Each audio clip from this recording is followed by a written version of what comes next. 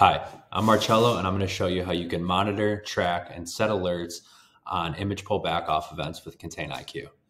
So, an image pull back off usually relates to your Kubernetes container runtime not being able to pull the image from your container registry.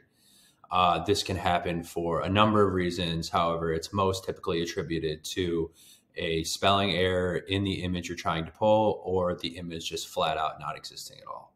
So, Let's go over to my shell here and see. I just spun up an Nginx pod. However, I misspelled engine.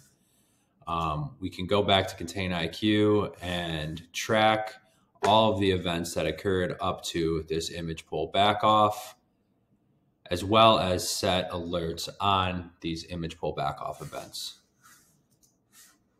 So to create an event alert, just go here, name your monitor, Let's call it back off.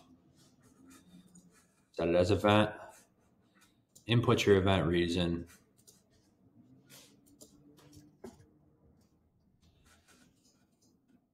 Change the matches all. Create event monitor. And boom.